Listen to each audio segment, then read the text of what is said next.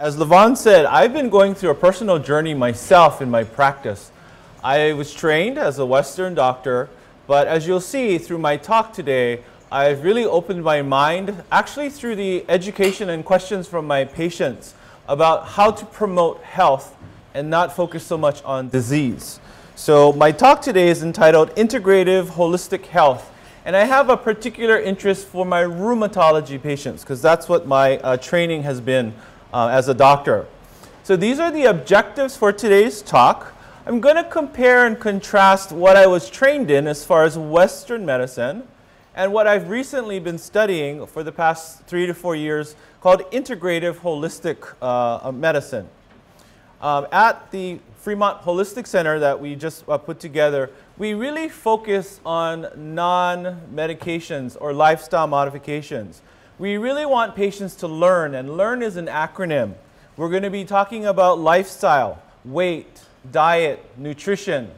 I really view nutrition as a medication, and it should be the first medication that you should be looking at before pills.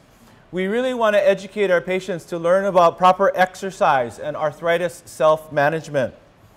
I often have to remind patients that our attitudes, our stress, um, needs to be addressed as well because stress does negatively impact not only our emotional, but our physical and spiritual health. Oftentimes, patients who have arthritis don't have a good uh, network of support, so focusing in on their relationships becomes very important. And also, most importantly, nutrition, sometimes needing supplementation.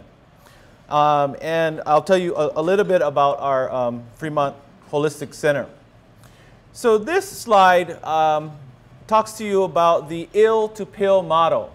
This is how I was trained as a doctor. So you see the person here in the middle. I was trained to divide that person up. So you go to your you know, primary care doctor and you have all these different complaints and they send you to the stomach specialist and they say you have irritable bowel.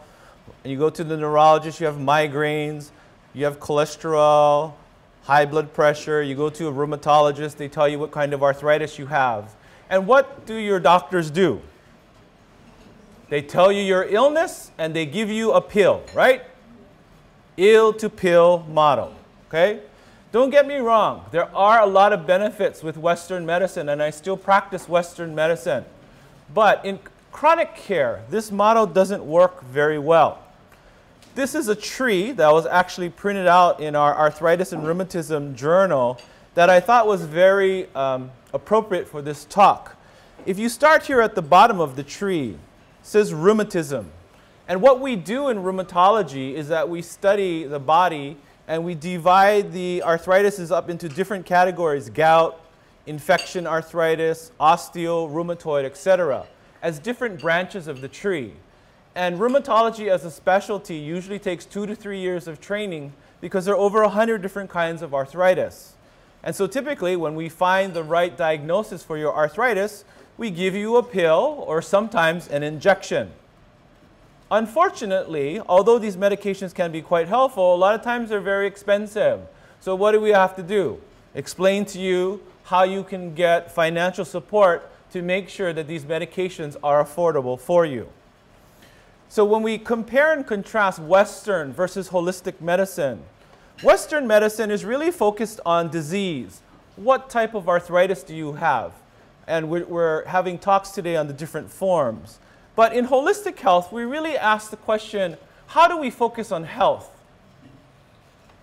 In the Western model, we do the ill to pill model. But in holistic health, we try to look at not only your physical health, your mental health, your spiritual health. And we ask the question, what is not in balance? What are you having too much of? Stress, sugar, white flour, processed foods. And what do we need to balance that off with? Western medicine is great, especially in acute care.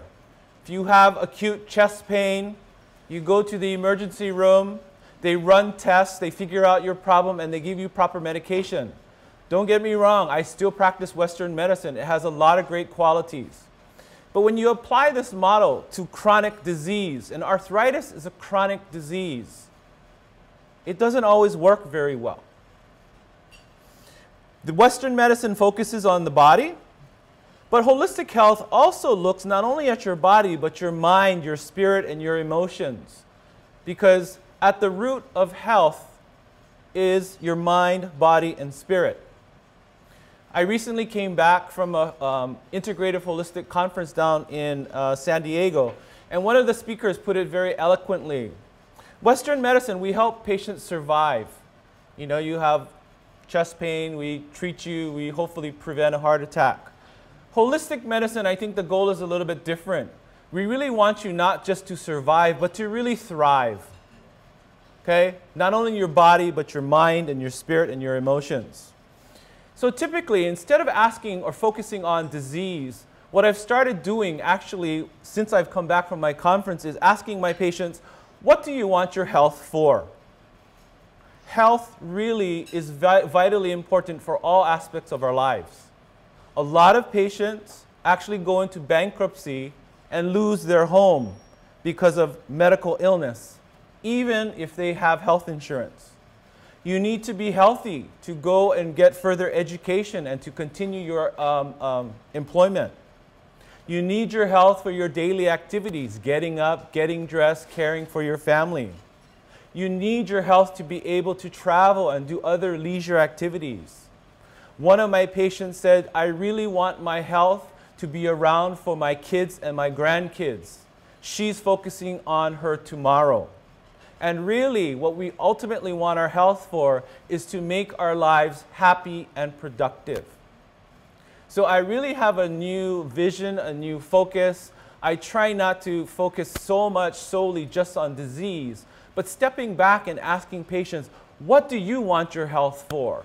Because I think if you start to answer that question for yourself, that will really help your doctors help you to achieve that. So when we look at a chronic disease model, okay, a lot of people thought and uh, scientists thought that, you know, we look at patients' genes here at the top. We've known the human gene code for over 20 years, but we still have a lot of chronic disease. Why do we have a lot of chronic disease? It's really based on our lifestyle and the environment. Estimates are that 70 to 90% of chronic disease are heavily influenced by our lifestyle and our environment, our habits. And patients say, well, why is this? It's because it turns on or turns off genes that we have. So when you approach it from a Western perspective, we give you a pill that really helps the altered physiology in the body. But when you address lifestyle, environmental issues, you're addressing a lot more contributing to your physical, spiritual, mental um, problems at that time. So there is a lot of power and strength in lifestyle modifications. One of the speakers was um, updating us on epigenetics. Even if you are born with bad genes, and a good example is the Amish, okay? The Amish in Pennsylvania have a lot of uh, genes that predispose them to diabetes and obesity, but it's very uncommon because they on average walk 15 to 17,000 steps a day. One thing that I've been telling all of my patients to do is to invest in a pedometer. I do it myself because I don't want to just talk the talk. I want to walk the walk, okay? So I can monitor how many steps I'm taking and if I don't get enough in my office, after work I'm taking my dog out for a walk, okay? So you can actually impact your body and your genes. You can turn off bad genes. If you're worried that your family history has a lot of heart disease, diabetes, cancer, you can actually turn this off by a healthy lifestyle, which not only includes exercise and nutrition, but looking at the environment that you live in and looking at your spiritual health. They all impact us through our bodies and turning on, on good genes, turning off bad genes. And the research uh, looking into this is getting more, much more attention. So when we look at prevention or a holistic approach, I often ask my patients to think of themselves as a tree. Okay? A Western approach would be to examine the branches and the leaves, and we look for diseased or sick ones. So we may name one branch or a sick tree as high blood pressure, another one as arthritis, and we would give pills to each of them. If the pills don't work, we'd call out the arborist or the surgeon and we cut it off, right? Cut off the bad leaf. But a preventive or a holistic approach focuses down here on the bottom. It looks at your nutrition and your environment, your physical activity, your sleep, your energy, your social, spiritual balance, your emotional health. Because if you nurture the tree from its base, what's going to happen? The whole tree is going to heal itself. So if I asked you if you saw a sick tree, what would be the things that you would say? You would say, water the tree, fertilize the tree, right? You wouldn't say, throw some medicines at it, right? You would focus on the base. And that's what integrative holistic medicine is all about, focusing at your base. So integrative holistic medicine are these doors, many other doors, many other options to approach disease and also health at the same time. So we can put you back together. If you're Humpty Dumpty and you feel like you fell off the wall and you're broken, the more tools your doctor has to put you back together, pills, diet, exercise, stress management, the better you're going to be and the more successful you're going to be. You can do it at a Western approach, but sometimes you're going to need surgery. And every time I mention surgery to my patients, they say, oh, no, no, no, no, no, no, I don't want that. So if you don't want what's on you know, the right side, expensive or potentially toxic medications and or surgery, you really have to focus on your base, your lifestyle. So at the Fremont Holistic Center, we do consultation work and we help patients address the learn concept, lifestyle, exercise, attitudes, relationships, nutrition, in addition to a Western approach, okay? I still practice Western medicine. And every time I give this talk, I seem to attract patients who want to find some sort of balance. Because what typically happens is patients either see a Western doctor and secretly see a non-Western provider, and they don't talk, right? I see a lot of people kind of chuckling. I have a patient right now who um, I think rightfully so has been getting good advice from her rheumatologist. Uh, but she really wants advice and guidance with regards to lifestyle modification and a holistic approach. So in the same talk that I'm telling her, I agree with your rheumatologist, but these are some other things we can work on, we're really forming that connection because it's all about you and your relationship with your provider. If you feel comfortable telling your provider, hey, I thought about seeing an acupuncturist or a massage therapist, a non-Western provider. If you're not comfortable sharing that information, that may not be the most uh, helpful relationship for you. What we're also doing at our, our Holistic Center is building bridges. We are reaching out to traditional Chinese medicine, acupuncturists, massage therapists, Ayurvedic practitioners, because the more options we give patients to improve their lifestyle, the less medications you'll need. Hopefully you won't need surgery. And this is very, very powerful. We tend to focus a lot on weight. And as I practice more rheumatology, what happens to people with arthritis? They sometimes gain weight because of pain and lack of physical activity, and sometimes I use prednisone and I make them hungry and gain weight. But what happens with that weight? You develop heart disease, blood pressure, cholesterol, hormone problems, memory problems, bone problems, liver problems, arthritis, sleep apnea. You have a whole slew of medical diseases that are commonly associated. And I show this slide and people go, oh. But I actually look at the slide and say, this is great opportunity, great hope. Because if we help patients understand how to modify their lifestyle, a lot of these comorbid conditions actually improve. My most successful patient to date is a widowed lady from the Middle East. Um, initially, she didn't want to address all these other issues, but over the past two years, we've been taking an integrative approach with her. She was almost 300 pounds and she's lost 42. So the first question from her primary care doctor is, Dr. Shibuya, what medicine are you giving her? And I said education and empowerment. I have not prescribed for her appetite suppressant. I've given her a lot of education, but education alone is not going to lead to positive results. You need education plus action. So what we do is we try to motivate her, we problem solve with her, how can she get and impact her behavior to improve her lifestyle. And she's probably my best sales advocate for my practice. Every time I see her, she says, oh, I told my friend about you and they're going to come. I say, oh, wonderful, great. I'm busy as it is. But we're, we're really excited and happy to help uh, uh, patients. What I commonly find and need to educate patients about is it's not just your weight we know that weight promotes inflammation and also diabetes because in the fat cells, there are inflammation cells that actually go into the fat and lead to inflammation. And inflammation is one of the key factors increasing patients' risk for heart disease. So it's not just about your weight, it's about what's happening in your body that leads to secondary problems. So chronic inflammation has not only been associated with arthritis and diabetes, but cancer, heart disease, Alzheimer's, neurologic problems. So if you boil, boil it down, really getting at patients' lifestyle and working with them on their weight is so very powerful. And that's why I'm so passionate about it, because I've been seeing the results in my patients so far. In preparation for this talk today, we emailed our patients and I actually got an email that I will probably remember for the rest of my life from actually a patient I no longer see. So I last saw this patient about two years ago, and he traveled from Point Richmond all the way to Fremont. He was a really nice guy. I could never figure out why he was coming so far. There are a lot of great rheumatologists between Point Richmond and Fremont. But needless to say, we'd have discussions about his weight, diet, exercise, and he kind of said, well, you know, my girlfriend tells me that, but, you know, I'm busy. I like sailing and doing all these other things.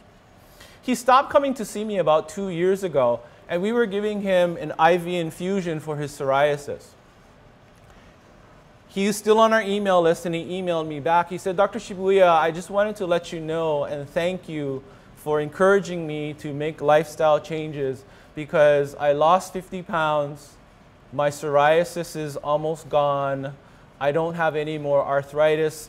Um, my blood pressure, my cholesterol, my diabetes is all better. I don't need to come back to see you. You tell that to most doctors, they would say, oh my God, I lost the patient. But I really look at this as a great person to advocate for my practice. So what I'm trying to do and tell you is focus on the success Focus on what you want your health for because that is contagious, that is infectious. And one of the things that I'm doing in my practice is gathering these stories and sharing it with the, the public because these kinds of stories are really going to change our healthcare. So when you talk about your weight, now all your doctors have electronic health records. They can calculate your body mass index or a ratio between your height and your weight. But I'm here to tell you, don't focus in just on your weight, okay? Because there's something called skinny fat, okay? So this lady here in the middle, you can kind of look at her and say that she's overweight or obese. On this side, she's actually gained more muscle, which is more metabolically active. It helps her break down and lose uh, calories, decrease inflammation. Here on the right side, she's lost the same amount of weight. She may look physically the same, but she's lost muscle and she has more relative fat. She's still at high risk for heart disease. So we don't want people to just focus on the weight and be skinny fat. This was a new term that I picked up at the conference that I thought was very insightful. I feel so passionate about weight that on our website for my office, drshibuya.com, we have links to YouTube videos. And if you haven't seen The Weight of the Nation, you can go to our website, you can go to YouTube, you can type in The Weight of the Nation. It's a four-part video series that I highly recommend you watch. The first part is called Consequences. It explains to you what happens when you carry too much weight. That first slide that I show you on obesity, heart disease, diabetes, arthritis, etc. The second part is probably the most uh, practical. It's called Choices.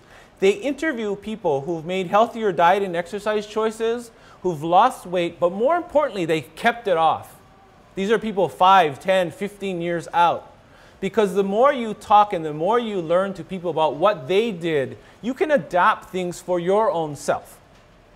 Part three focuses on the obesity epidemic in kids. This is the first generation of kids that are not going to live as long as their parents, which is a very sad commentary. The United States spends the most on healthcare, but we are ranked 38th in the entire world with regards to health outcomes. And I think part of that has to do with our ill to pill model. We don't engage our patients to change their lifestyle. And part four has to do with societal challenges. Some of the places with the largest epi um, obesity epidemic are low income populations. There is no grocery store with fresh fruits and vegetables in these communities. And it's atrocious to think that in 2014, in the great country of ours, that there are communities like this. There's fast food joints all over the place. There's liquor joints all over the place. So we as a society have to think, what are our priorities? So a common question from patients is, what's the best arthritis diet? And really, because there's so many different kinds of arthritis, there's no best diet. But what I can tell you is the standard American diet, otherwise known as SAD, is just that. It's sad. It has too much sugar, has too much white flour, and it's making us fat and obese and diabetic and heart disease and arthritis and et cetera, et cetera. There are things called the anti-inflammatory diet, and if you haven't heard of Dr. Andrew Weil, he's created a food pyramid. He has a website um, that really helps educate patients to go back to eating whole foods. Stop eating all that processed stuff. That's what's killing us. There are other types of diets that have been studied and researched to shown to be helpful for patients, not only losing weight, but decreasing diabetes and heart disease, like the Mediterranean diet, the Okinawan diet, because you really want to make it appropriate for the individual. It's hard for me to convince my Asian patients to you know, change their diet. They, they want to eat foods that they're accustomed to. So finding what works for you is very important. There are free online resources. ChooseMyPlate.gov goes into a lot of patient education with regards to the proportion size, how much you should be eating. And there's a campaign in Alameda County several years ago called Rethink Your Drink. What they do is they let people know, you know, all these beverages here? It's a tiny little picture, but you, you know what this is, right? The Frappuccino from Starbucks, right? In a 12 ounce bottle has eight and a half teaspoons of sugar. Would you, in your, if you had a cup of coffee, sit there and put eight and a half teaspoons in there? No. But it's already diluted in there. Some of my patients, the only thing I tell them is cut out or decrease your soda. Three, four months later, they say, Thank you, Dr. Shibuya. I lost 30 pounds. My arthritis is going. Bye. I said, Great. Wonderful. Drink more water. That's all they really need. Now, with our lifestyle, with our sad American diet, it's really deficient in vitamins and nutrients. There are tests that you can do and get through a holistic provider that looks to see not only what your body needs as far as um, healthy nutrition, as far as vitamins and minerals, but sometimes when you are overweight, you have medical problems, you have chronic inflammation, your body uses up these uh, vitamins and nutrients even faster. So looking at it to customize your supplementation can actually be helpful. Omega-3 is a common supplement that patients uh, know about. Um, there's some new uh, dietary guidelines uh, looking at uh, eight or more ounces a week. But when you want to improve your health with food, you have to ask where is the food coming from? Is it coming from a polluted environment? Am I eating fish that have been swimming in dirty water that's going to increase my risk for mercury exposure? Um, or the supplements that I'm taking, are they good quality supplements, not good quality? So there are some further questions, and this is what integrative holistic medicine is about. Keeping up on the research and then advising patients on what types of supplements or their diet would be more appropriate. I really agree. Diet should be a medicine in first line use. This is R Richard Gelfond. He was actually part of a Consumer Reports. If you subscribe to Consumer Reports, in October 2014. He's the IMAX CEO. He actually was trying to be healthy and he was eating sushi every day. And he developed neurologic signs or symptoms of mercury poisoning. So if you look on the right here, if you eat the yummy sushi, albacore, tuna, okay? These larger fish eat smaller fish and smaller fish, and every time they concentrate the mercury in there, which is coming from our environment. So integrative holistic practitioners are also really, really concerned about our environment because we're polluting our environment. Over half, uh, half a ton of pollutants are put into our environment every single year. And I just found out at our conference that uh, China no longer will allow imports of corn from the US because all of our corn and all of our soy products here in the US are genetically modified, GMOs. Now, also in an integrative holistic practice, people often focus on herbs, but a very common question should be asked, are the herbs in any way interacting with the medications I'm taking?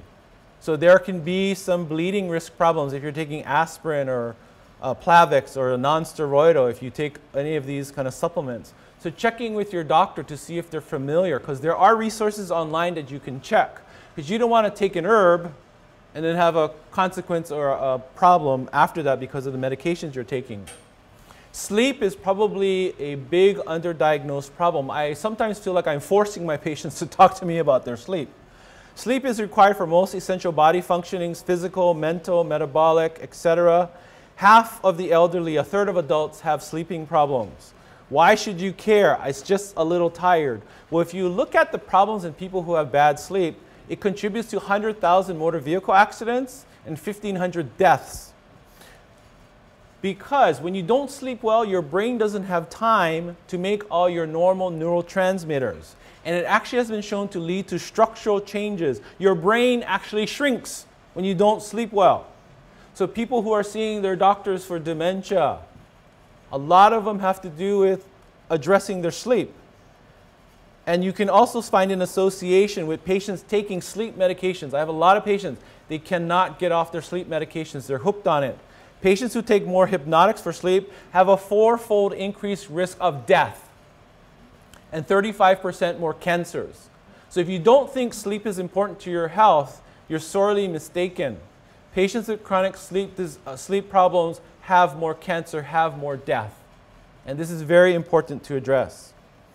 Lifestyle modifications with regards to weight loss, the best medicine, every pound, if you're overweight, you lose, decreases five pounds of stress on your joints in your lower extremities. So if you lose 20 pounds, that's like 100 pounds less stress.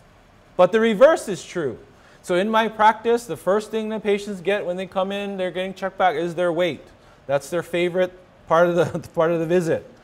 But what I found is when you monitor it and you give it attention, that's when you start to make some real progress. Patients, I congratulate them. I said, congratulations, you didn't gain any weight or you lost a pound. And they kind of chuckle and they said, well, I did gain five pounds, but I know I had an appointment with you, so I, I actually tried to lose the weight before we came in. And weight loss, there's no copay, there's no prior authorization. Exactly. There are many different types of exercises, flexibility, strengthening, aerobic, body awareness. They help you decrease falls if you're concerned about osteoporosis, etc. And the Arthritis Foundation has exercise programs which have been studied and proven to be safe and effective even if you have arthritis. A common response is, I can't exercise, I, don't ha I have arthritis and pain. Wrong. You just need to find a program locally in your community that will help educate you. When I first came to Fremont in 2004, we didn't have any of these. So I worked with my local hospital and they have a women's center there. And now they have a lot of these programs. They also have an aquatics program. And a common response is, I don't know how to swim. This is not swimming. This is aerobics in the pool. Okay? When you're in the pool, it's warm. It makes your joints loosen up and your body doesn't have to carry your full weight. And a lot of my patients, once they get over the initial fear, they really love this program. I like cartoons to ex uh, explain a point, and this doctor is telling you what fits uh, better in your busy schedule, exercising an hour a day or being dead 24 hours a day. So even if you're busy, it doesn't need to be all at once. You can do 10 minutes in the morning, 10 minutes in the afternoon, 10 minutes uh, in the evening. You can break it up. If you watch the Weight of the Nation video, they give you additional suggestions. Or these are some new weight loss treatment options. The doctor on the left is telling the patient, well, well, it seems your weight is perfect. You just happen to be 11 feet too short. or you can be like the woman on the right, how to weigh yourself and get the most accurate results. I can't believe I've been doing it wrong all these years. So you can weigh yourself like that. So, um, Dr. Kate Lorig, uh, PhD at Stanford, developed this arthritis self-education program, which I think is very, very powerful. And this is something that we're incorporating for patients that we see at our Fremont Holistic Center. Because it's not just about knowledge. I'm hopefully giving you today some knowledge, but you have to take that knowledge and put it into action. You need to actually start doing something. You don't have to do everything. You just have to do one or two things because that is going to be very powerful and lead to results. Attitude, depression, and pain, they are intimately related. Physical activity, you avoid it because you have arthritis, you get deconditioned, your activity further decreases, you, you increase avoidance, further deconditioning, pain, causes you to be angry, impoverished mood, depressed. So they are very intimately related. So the doctor there on the left is telling the patient, you're under a lot of stress. I'm prescribing ice cubes to help you chill out. well, I don't prescribe ice cubes, but I prescribe deep breathing. And if you ask any one of my staff who's here helping us today, a lot of times when we see patients, their blood pressure is really high, they're very anxious. Before I come in, they're teaching them how to do deep breathing exercises because that can actually help re reduce their stress. And it doesn't really matter who came first, depression or pain. You need to treat both. Attitude, positive thinking. It has many different names stress management, deep breathing, relaxation, meditation, guided imagery. You can go to YouTube and just put in deep breathing, relaxation, meditations. There are a lot of good videos that are free online that you can actually start doing yourself, and you'll be amazed. If you want to decrease your blood pressure and come off of some of your blood pressure medicines or decrease your risk, try some meditation. Just to let you know, they've actually studied this. So this uh, red line here is the uh, rates of death, heart attack, and stroke in patients who were just given education. And what they found is the people who actually did it had a 47% reduction in heart attack, stroke, and death. So the key is not just knowing it, it's actually doing it. So I try and remind my patients, how often are you doing your deep breathing exercise? Well, I do it when I'm stressed. And I said, you need to do this to prevent it. You need, it needs to be a healthy habit. And the American Heart Association actually recommends transcendental meditation because of its positive effects on blood pressure, heart attacks, strokes. There is research, and we're getting and learning more. Laughter is very, very good. Spirituality is really, really good. The Humpty Dumpty says, I heard you can help people's li- uh, put people's lives back together again. But like anything, there are some negative side effects, or it's not appropriate for everybody. So laughter is not good for diarrhea. okay? So we always need a balanced approach. Okay? Your relationships, how you think. There's physician right here in a circle of support, but we are one of many potential supports for a patient. The more support you have, the more successful you're going to be. And as an integrative holistic practitioner, what I'm trying to do is build a bridge. Building a bridge to these other practitioners to really help the patients feel more supportive. So again, a reminder, what do you want your health for? Because it will pay off. And if you tell me, I forget. If you teach me, I remember. But if you involve me, I learn. And I really think your physician should be your teacher. And I'm so proud to be here today with other rheumatologist physicians who are great teachers because they will help teach you and give you the knowledge. But really, to make it work, you need to put it into action. Because if you're a physician, if you can't explain it simply, you don't understand it enough.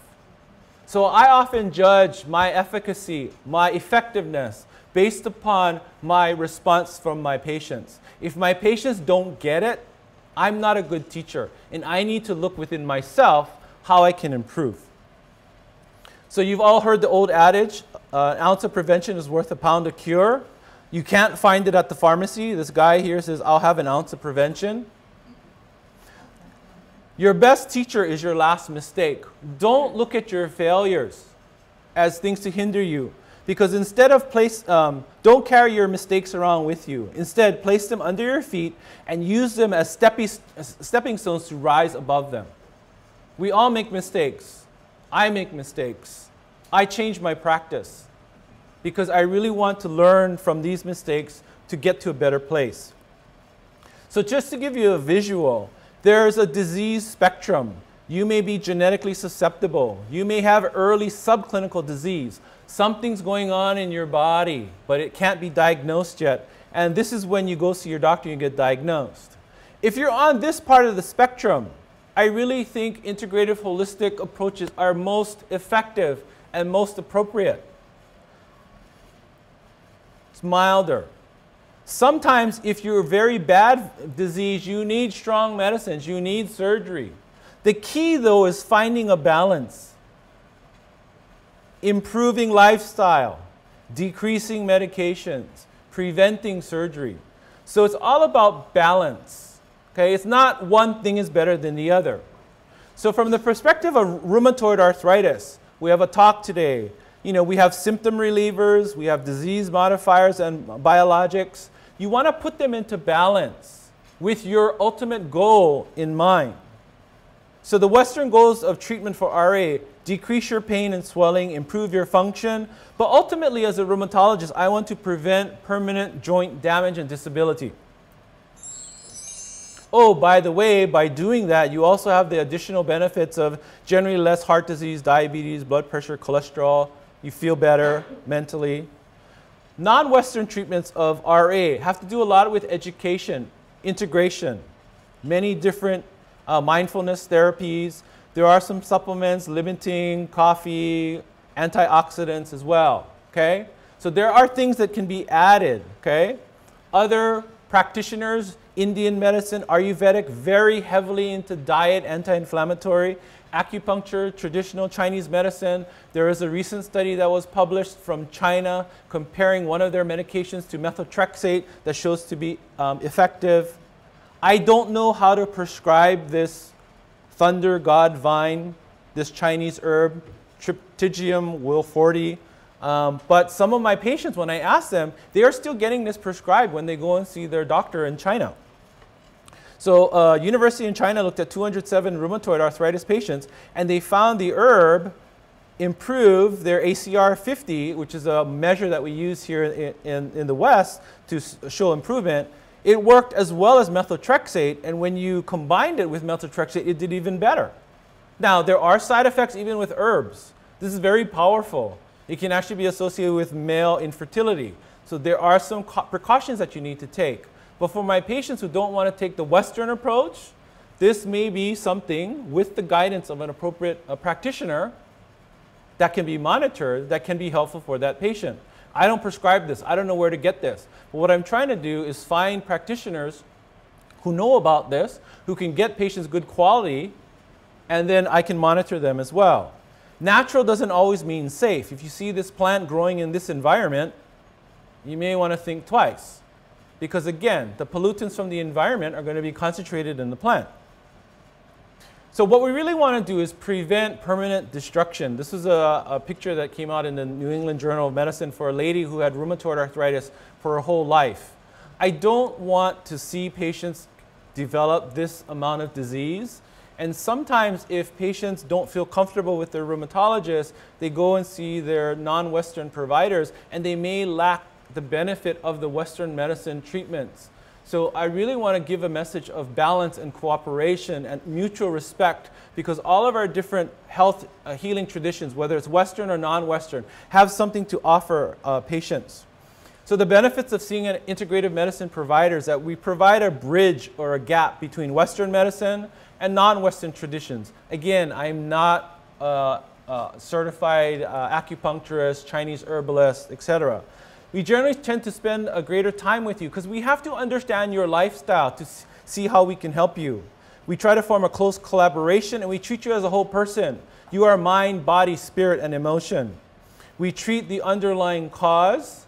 You know, a lot of people who suffer from depression or obesity are dealing with a lot of stress that they've had uh, and they're still suffering with in their lives. And until you address that, you may not be able to, to help them. We focus first on lifestyle. Medicine is food. Food is medicine. We can prescribe drugs when necessary. We tend to be more caring and compassionate for the whole individual, and we really try to target disease prevention. What do you want your health for? We have a lifelong passion for learning and healing. These are some of the non-Western medical systems that we try to work with. Traditional Chinese medicine, acupuncture, Ayurvedic medication. And there's a website that you can find certified providers. So in Fremont, there's a lot of people who do traditional Chinese medicine, but I tend to refer my patients who are interested in that through people who are actually certified. So I want to give them credible referrals. So integrative medicine is actually not something new. We're going back to the future. This is the Greek god Asclepius. He's here. He's seeing patients in a holistic natural environment. I think this guy had gout. I think he's pointing to his toe here, being painful. right? And what is he telling his assistant to do? Get him water to drink so he doesn't drink a lot of soda and juice. And he's also going to prescribe him healthy fruits and vegetables here uh, you know? So integrative medicine is not new. It's been around for thousands and thousands of years. We've just kind of gone astray, so we're going back to the future. And Asclepius is where we actually get our symbol for medicine.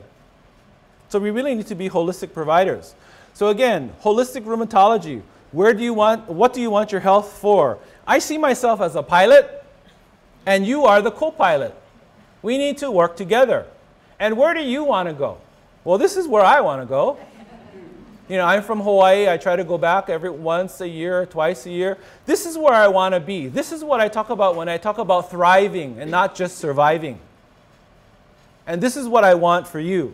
Like anything, you have to weigh the risks and the benefits. And I have a lot of patients like this. They see the Western doctor and they also see the non-Western doctor. And there's a divide here. I hopefully will be seeing an erasure of this line. Like anything, you know, first let me give you something for your pain. There may be side effects in too much Western medication, but the same can be said with alternative practitioners. This guy goes to the Johnstown Acupuncture Associates, and the, the doctors are saying, You got to be kidding, your back still hurts? so you need a balance, okay? It's not one or the other, it's both. So again, integrative medicine, balance. You don't want to get stuck from ill to pill or a symptom to supplement. You want to combine the best of both. I often tell my patients, if your health were like a car with four flat tires, if we only change one tire, we give you medicines, you're not really going anywhere. You have to address your stress, your diet, your exercise, your sleep. If you change all of the tires and you change your mood and emotion, guess what? You're going places. You're going to be happy, productive. You're going to really thrive. And that's hopefully something I think you remember from this talk. I was going to show you that you have the power within you. And if you don't believe me, go to YouTube and put in You Have the Power. And what's going to come up? A clip from The Wizard of Oz. Remember when Dorothy's at the end and she has the Glinda, the good witch, coming and she says, You mean I always had the power within me to go back to Kansas? Yes, you do. And that's what I'm here to tell you today. You have the healing power within you. You started from a single cell and you became this magnificent multicellular complex organism. I am going to be the first to tell you, I don't walk on water. My pills aren't magic. But what I can do is give you knowledge and hopefully encourage you to help you see that you have the healing power within you. And that is so very great. Um, we're probably running a little bit low on time, so I'm going to just end with this. We're going to be available during lunch for question answers. Um, I'm going to be here up in the front. We have a little break. Please go and visit our sponsors um, and uh, next door. Um, and there are a lot of other talks scheduled for later today. So thank you for this opportunity. And if you are going to stay for lunch, we're going to be here, I said, for questions. So thanks again.